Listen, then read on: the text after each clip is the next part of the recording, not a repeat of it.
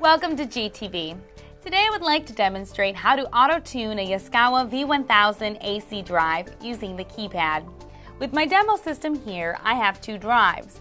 A normal drive package would not include two drives. I will only be using one of the drives here on the bottom for this demonstration. After I verify that my wiring is done correctly, I will turn on the power of the drive. I will begin by reviewing the display. This is my data display area. It displays information such as the frequency reference and parameter number. The four LED indicators next to the display are ALM for alarm, REV for reverse, DRV for drive motor, and FOUT for frequency output. When the alarm display lights up, the drive detects an alarm or error. The reverse display will light up when the drive is rotating in reverse. The frequency output display should light up when it displays the output frequency in Hertz. For now, the drive should be in drive mode and the drive display should be the only one lit up. The keypad has an escape key to return to the previous menu a reset key that resets the drive to clear a fault situation, and a right arrow, which I will talk about in a little bit. The up and down arrows adjust parameters or set values once selected by the Enter key. The LO slash RE button stands for local and remote. Remote allows the drive to be controlled through the control circuit terminals, and local allows the drive to be controlled through the operator here. Since I want the drive to be operated from the keypad, I will push this button until the light in the upper left corner turns on, signifying it is in local operation. The last two buttons here are the run and stop button, which will run and stop the drive. I will now start entering my data and arrow down until I get to auto run, also called auto tune. This will allow me to enter the parameters for my motor. I will push enter and T1-01 should appear. This gives me the option of choosing to do a stationary or rotational tune. For demonstration purposes, I would like to do a rotational tune. If I refer to my Quick Start manual, I know that my T1-01 settings needs to be 3. I will hit enter on T1-01 and use the arrow keys to input 3, then press enter again. Now I will adjust the output power parameter by using the up arrow to get to T1-02, then press enter. I will refer to my motor's nameplate to find the rate of power measured in kilowatts. For this motor, I will put in 0.18, then I'll press enter.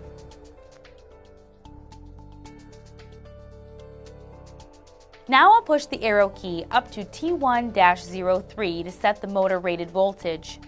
I will hit enter and change the settings to 230 volts.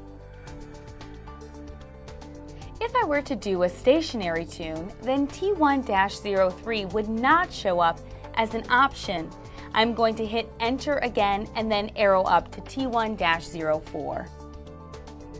I will hit enter on T1-04 to input my motor rated current in amps.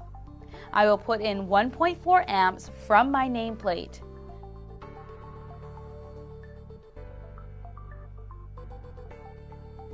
The rest of the parameters T1-05 to T1-07 are for rotational tuning and not static tuning. I will arrow up to get the T1-05 and hit enter. This is my motor rated frequency in Hertz. My motor nameplate value is 60 Hertz. I'll arrow up to 60 and press enter.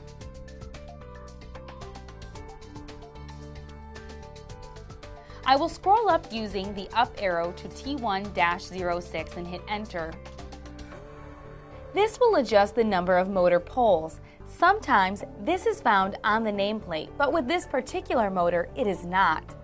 A general rule of thumb is that for motors at 60 Hz, I would take a look at the RPM or min minus 1 and know that a motor with a range of 3600 RPM would have two poles.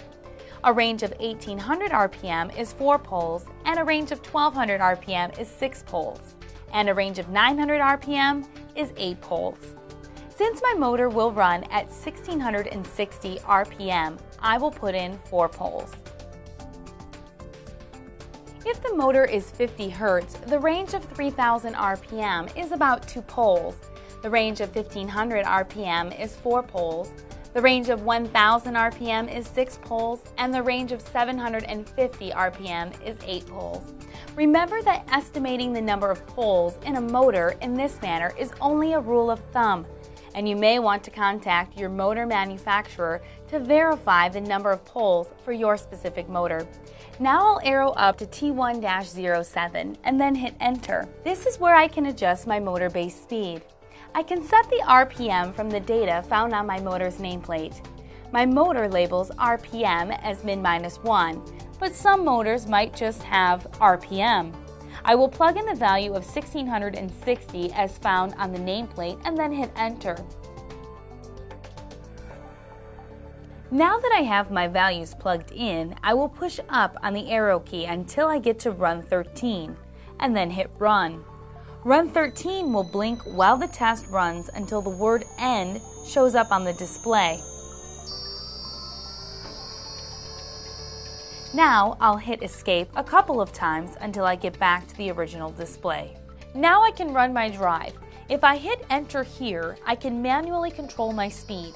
First, I'll put in 30 Hz. As my drive is running, the display here is still blinking, letting me know that the drive is in update mode. I can manually adjust the speed with the arrow keys.